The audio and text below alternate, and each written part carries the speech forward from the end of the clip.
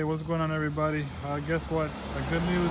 Uh, just that I'm gonna show you guys a quick tip on uh, another feature in the Accord. A lot of you guys are getting 2020 Honda Accord. Some of you 2019. Uh, congrats to you guys. And I just want to show you guys that how to get your headlights and fog lights on when you press the unlock button. A lot of people have a problem with that. So this is what it is. I actually turn off the feature in my in my car and I'm gonna show you exactly this is what this is what you guys get. When you press the unlock button your headlights don't turn on. So I'm gonna show you guys how to fix that. So I'm gonna lock it go ahead and I'll just go inside the car real quick. I'm gonna show you how to do that exactly. And honestly it's a nice feature like especially you know coming from far away or whatever. I'm gonna leave the door open all right so you press the this button right here and just start and stop. Press it twice but don't start the engine actually. Make sure your foot is off the brakes. And then you would simply come here um, settings and you would go to vehicle. And then you would go to there you go uh, lighting setup and then after that you will see here this option. One two three four fourth option hopefully for you guys. Headlight auto off timer. You click on that and then you press 15 seconds. So pretty much whenever you press unlock the lights are going to be on for 15 seconds. Or whenever you uh, get out the car and you press uh, lock the lights will stay on and automatically turn off after 15 seconds if you like you can have it up to 30 seconds uh, 60 seconds but I usually like it at 15 seconds.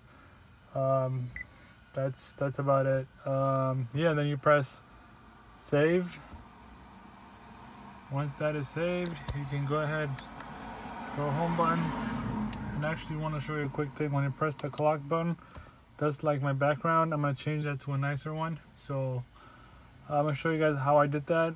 I have a video on it how I did it but I'm gonna redo it and make a better video on that. And but anyways you would just click any anything then just turn it off. Just press it again it would shut it off. And then here we go. We're gonna go outside. Make sure your light here is on auto by the way. So right here see I'm gonna turn on the dome light in the front? There you go.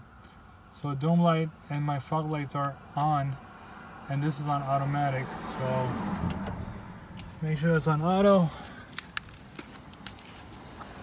All right so that's done. So now I press the uh, I locked the car. And a lot of you guys also said the fact that since I, my car is blacked out again you guys loving it I'm gonna get the red fog lights. It's gonna have more aggressive look to it. But all right here we go. I'm gonna press the unlock button now my bad I forgot to show you guys but I pressed the unlock button and there you go. See then it lights up uh, 15 seconds and then it turns off. Um, I could just press the unlock button. There you go it's locked. Press it twice. And then 15 seconds it should turn off. Waiting patiently. But yeah the fog lights guys is gonna be red soon but there you have it. See i hope this guy this helped you a lot and um yeah appreciate the support guys. Stay tuned like subscribe and turn on all the notifications on your channel for for my channel uh, so you guys get notified of my new upcoming videos. And i got more awesome videos coming up soon so stay tuned and yeah this looks uh amazing blacked out. Thanks to you guys for telling me to go again blacked out and i got it. So stay tuned getting more subs onto it